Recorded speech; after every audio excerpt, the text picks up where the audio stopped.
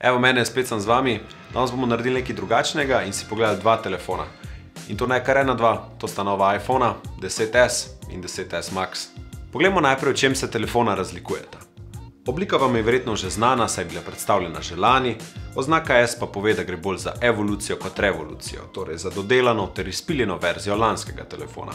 Spremembe pa se skrivajo predvsem v notranjosti. Letos se je 10S-u pridružil še večji 10S Max, razlikujeta pa se po velikosti zaslona. Manjši 10S ima 5,8 palični Super Retina zaslon, medtem ko ima model Max ogromen 6,5 palični zaslon. Oba zaslona uporabljata OLED tehnologijo in sta res huda. Skupaj z večjim zaslonom pride tudi večje ohišje ter posledično baterija, ki na modelu Max prinaša uro in pol daljšo avtonomijo v primerjavi z modelom 10, z modelom 10S pa boste v dnevu prišli pol ure dlje kot v primerjavi s predhodnikom. Oba poganja nov čip A12 Bionic za še hitrejšo uporabniško izkušnjo, boljše strojno učenje ter napredek v zmožnostih obogatene resničnosti. Hitrejše pa je tudi Face ID odklepanje s prepoznavanjem obraza.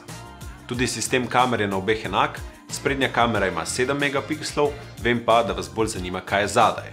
Zadaj najdemo sistem kamer s širokokotno lečo zaslonke 1,8 ter telefoto lečo zaslonke 2,4.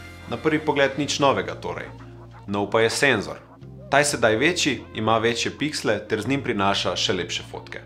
Nov pa je tudi način Smart HDR, ki bo tudi v slabih svetlobnih pogojih iz fotke stisnil kar se da največ.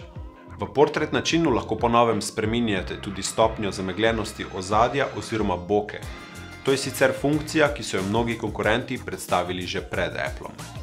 Izboljšali so tudi zvočnike, ki sedaj prenašajo boljši stereo, tako bo poslušanje glasbe ali ogled posnetkov še večji užitek. Izboljšana je tudi stopnja zaščite pred zunanjimi vplivi, kot je voda in prah, vendar to še ne pomeni, da se greste lahko s telefonoma slikati pod vodo. To sta bila torej nova iPhona. Počakamo še novega 10R, vendar o tem več v prihodnje. Telefona sta res ekstra.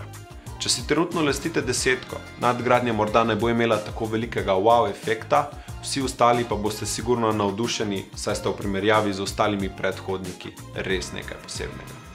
Začetek nečesa izjemnega. A1.